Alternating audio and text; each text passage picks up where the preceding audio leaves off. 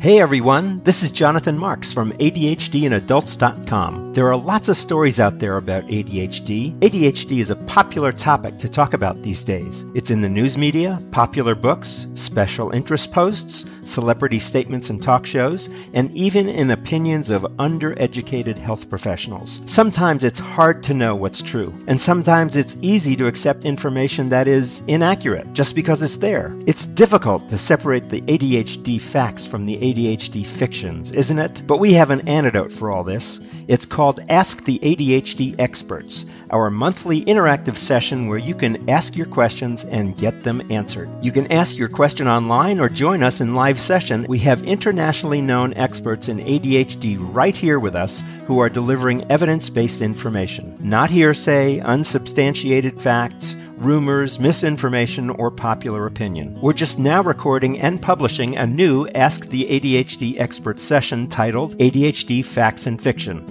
with Dr. Stephen Faraone, Distinguished Professor of Psychiatry and Neuroscience and Physiology at SUNY Upstate Medical University. In this session, we'll supply you with the correct answers to such common myths as ADHD is routinely overdiagnosed. Children outgrow ADHD. ADHD is not a disorder, it's the extreme of normal behavior. ADHD is an American disorder due to permissive parenting. Brain abnormalities in ADHD are caused by the use of medications. A non pharmacologic therapy should be tried before medication. The truth is, this list of fictions is just that. The facts we present in our session, the facts you need to know as healthcare professional and as patient or as a loved one of someone who has ADHD are all based on decades of scientific research, unbiased, fact based research. So join us, live or in replay. Ask the ADHD experts, our session entitled ADHD Facts and Fiction with Dr. Steve Faraone. Join us and get the facts today.